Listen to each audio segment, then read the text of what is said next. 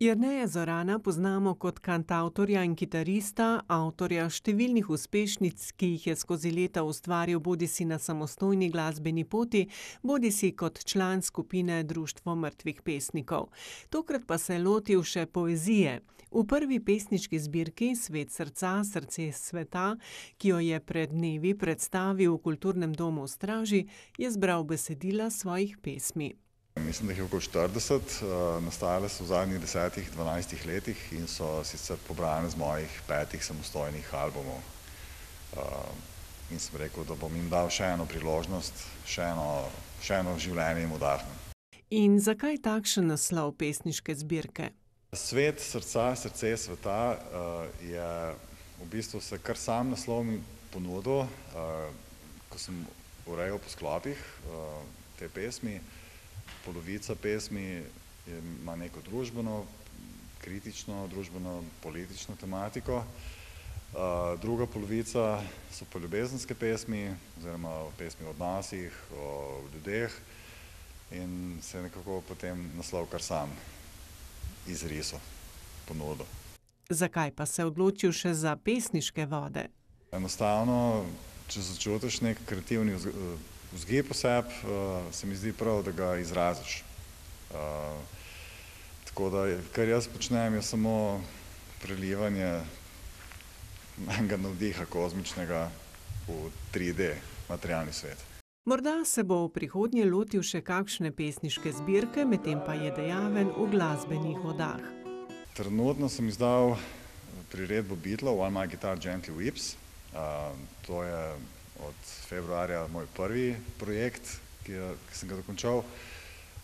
januarja bom izdal nov, singel, pa tudi v naslednjem letu predvidoma spomladi nov album. Tako da skozi nekaj prčkam, skozi se nekaj dogaja. Ob tej priložnosti je tudi zaigral in zapel.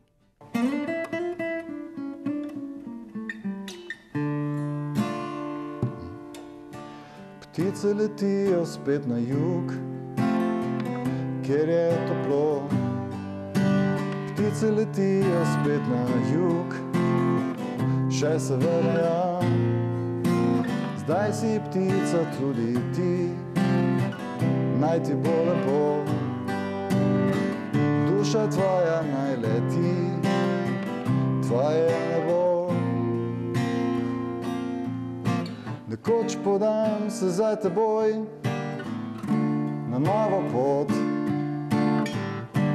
Pričakaj me za mavrico.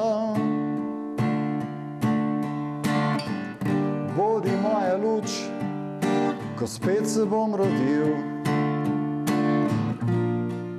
Ko po letu bom brezkriv.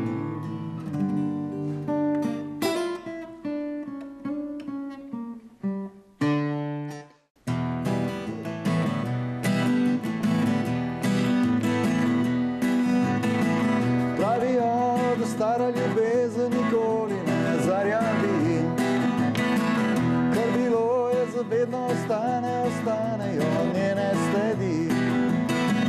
Ko mi ni ubila en dan, a minilo je kar sedem let. Ko mi ni ubila en dan, včeraj sem te videl spet.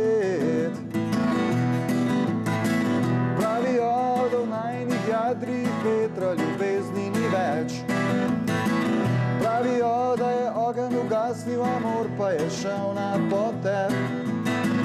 Kdo bi vedel, kdo ima prav, meni jasna je ena sama stvar.